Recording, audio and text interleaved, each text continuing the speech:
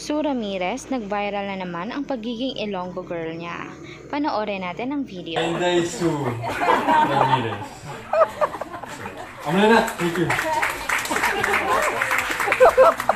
Starstruck naman.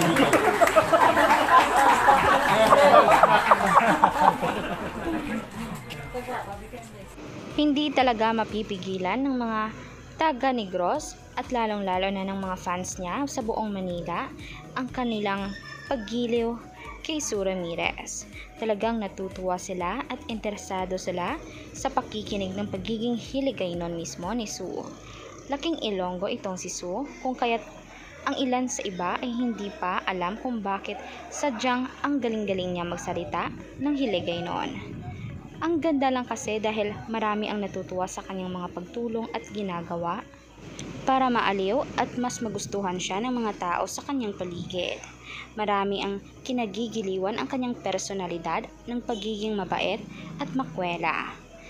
Kaya hanggang dito na lang ating latest update about Sue Ramirez. Panatilihing nakasubscribe at i-click mismo ang notification bell para lagi kayong updated sa ating future trending videos na ina-upload kada araw. Maraming salamat mga kanatasan.